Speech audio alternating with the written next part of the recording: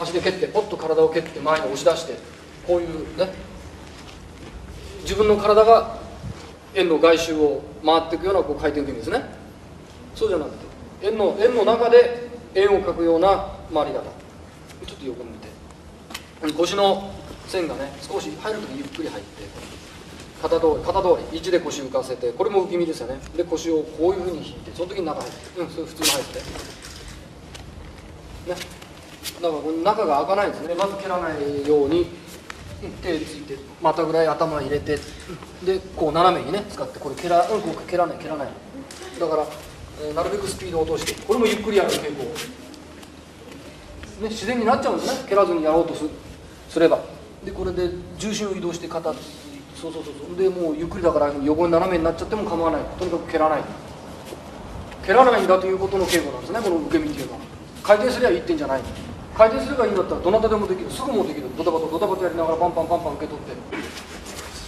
後ろはこれも肩ですね。こうこれ布団をこう上方へ蹴って。この腹筋を緩めて。緩めるときに重心がここへ入ってくる。あだからお腹に力入れて足後ろへ蹴ってじゃないんですね。ゆっくりやって。この時に背中をふっとかしてこれ抜いてこういう速さでゆっくり回れるゆっくり回れるけど今のは重心の通りが速いですよね。こういう速さでって言った時重心がもうこっち来てる。あとゆっくり今起きただけでここまでは速いはずなんですね。今なかなか分かりにくいでしょ。今日初めてですか。蹴ってここでこういうのこれもなかなか。こういうやつですね。ねこう柔らかく肘使って。これ若い方はできおできになるでしょ。う、ね、だから低い位置から。スッとこう入って。これも型なんでね。後ろから押されて脇にいるのが蹴飛ばしていくと。だから左右ありますけどね。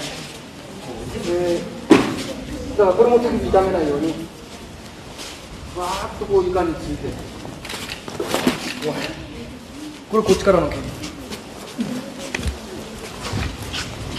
ころは足が見えなくなってきてますでしょ、ね、これは、えー右回りは右足、ね、右回りは右足で先に受け取って左回りは左足で先に受け取って。だから手が使えますね。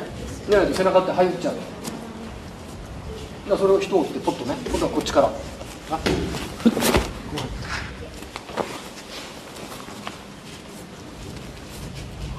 そうだから足の使い方っていうのは今言った通りに私は使ってるんですけどもこういうふうにじゃなくて体が変化しながらだからパッとこの点にしか見えないっていうねだからとにかく右回りは右回りは右足ですねこっちの足だこっち回りはこっち当然ですよねそんなようなことですねただこの線ならこの線の上で帰るこっち行ってこっち飛んじゃったりこっち行っちゃわないですねこれからスッとスッてここで使って。